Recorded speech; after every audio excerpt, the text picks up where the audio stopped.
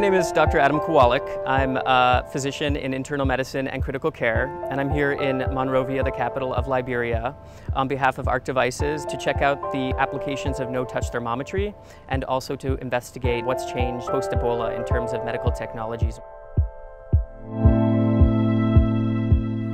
It's just one button instead of three or four, and all you do is hold it up to the head and you press and hold, and then it accurately gives you the temperature, 97.8. This uses infrared technology, and the interesting thing, and you can appreciate this because we know when we see patients with sepsis, right? Their temperature on the outside of the body is not necessarily the same as their internal body temperature. This specific device measures internal core body temperature. We want to make sure that you have most accurate thermometry technology available. People have been taking temperature pretty much the same way for over 100 years. My job and our job at ARC is to change that. My name is Terence Keeley and I'm a design consultant at uh, Design Partners and I uh, work primarily in the healthcare department within Design Partners. So we focus on products that sort of cross the boundary of consumer and medical.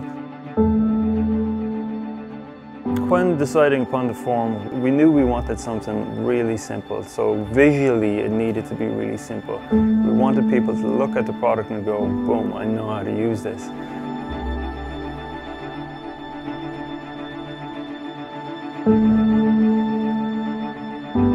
We think that ARC is uh, disruptive technology.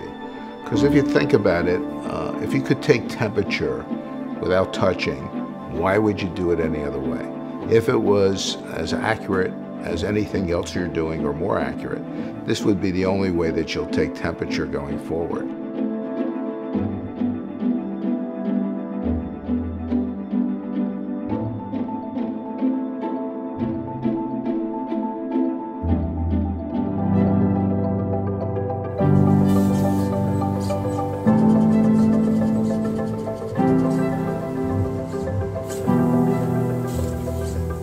One thing you should never do is ask an engineer to uh, do product design because uh, we like putting things in black boxes or boxes in general.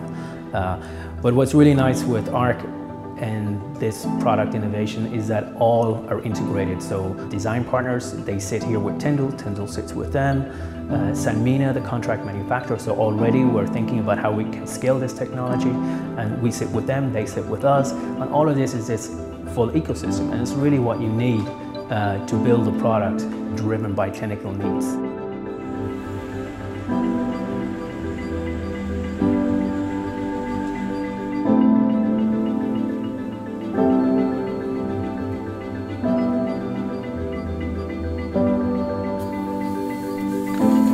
it's not about integrating risk, which is technologies that haven't been validated.